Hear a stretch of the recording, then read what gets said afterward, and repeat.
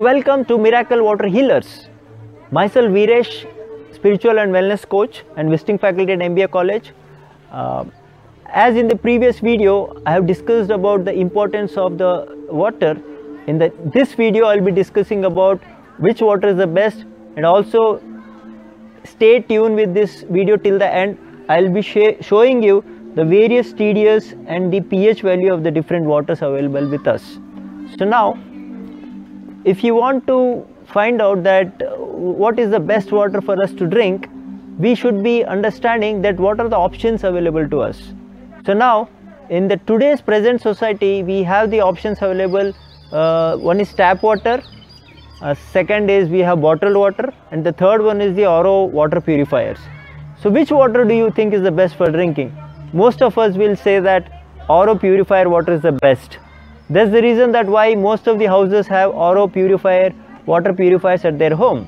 Sorry to say that this is not the best water to drink because of the first reason that reverse osmosis water is a demineralized water which has a TDS around 20 to 30 which is dead water and for your information actually RO water was used in marines when they used to travel in the ships from one place to the another place to convert that salty water into drinkable water.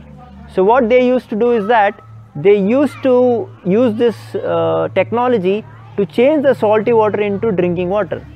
But the main point what we have to understand in this is that in the RO water along with the contamination and impurities even the minerals and vitamins which are there in the water is also removed. So now what happens is that this is a demineralized water.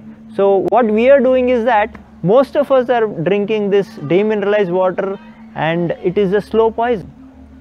So, uh, so, so this point is very you know, important for us to understand then what TDS you know, matters in this.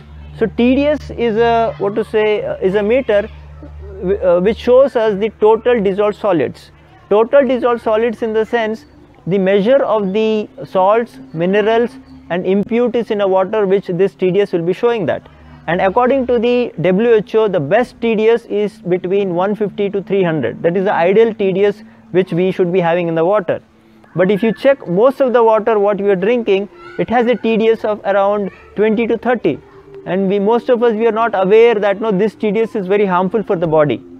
Because this demineralized water, when you drink regularly, it will uh, no, cause many of chronic illnesses in your body. And according to World Health Organization, you will be surprised to uh, know that it has given a warning that if you regularly drink this uh, what to say demineralized water for many years you will be reducing a uh, no, lifespan of around 15 to 20 years. Do, do you do you understand the seriousness of this issue? So now what is the best option available for us uh, no uh, to drink? So that topic i will be discussing in the coming videos but in the, this video I'll be showing you that what is the uh, what to say uh, TDS of the water and also I'll be showing you that what, type of uh, pH this particular uh, what to say water is having. So let us test this. So to just to show you that this is a what is a packaged bottle water. So this is sealed one. I'm pouring some water here. So now we will test that what is the TDS of the different water. This is the packaged drinking water. It is just a, uh, what to uh, take an example. It may be Bisleri, it may be Kinley or any brand. That does not matter. And this is the uh, what to say uh, water. This is RO water, and this is the tap water. So this is the RO water.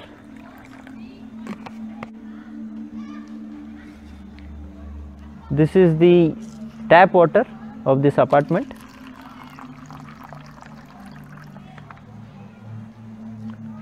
So this is the TDS meter. So now we will test what is the TDS of this water. So as you can see this is 27 it is 27 no? It's 27 and this RO water 13 oh my god this is 13 and this tap water is having too much this is 670 670 So this is the no uh, no this is the present situation of TDS of our water. So according to WHO, our water should be having a TDS between 150 to 300 is the ideal one. So apart from this, uh, this is a universal pH indicator. So this universal pH indicator will show us that whether the water is acidic or alkaline. It will be showing us that whether it is acidic or alkaline according to the color changes. If it is between this red, orange, yellow, you know this is acidic and it should be if it is alkaline it should come in the purple or violet color right and if it is uh, green it is neutral but our water should be in the uh, range of no pH above 7.5 to 8 so now let us test that what sort of a pH no this different water is having. Let us first test this Kinley water. I'll just put few drops in this. 1 2 3 4 this is in the RO water. 1 2 3 4 and this is the apartment tap water. 2 3 4 so now you can see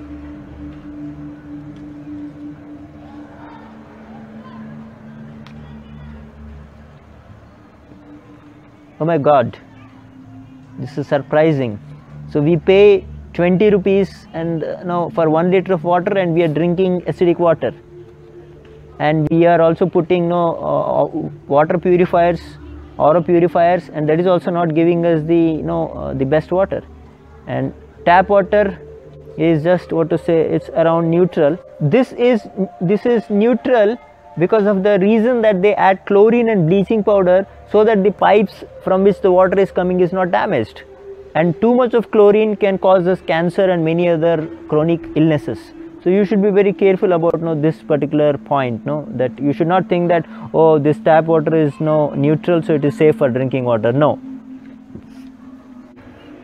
So this is a small explanation about water about the TDS and the pH uh, values in the water so in the coming session I will be uh, telling you about the healthy water and uh, what should be the properties a healthy water should be having it. So that will be a very important topic. So be in touch and please like and subscribe our channel. So see you again. Have a great day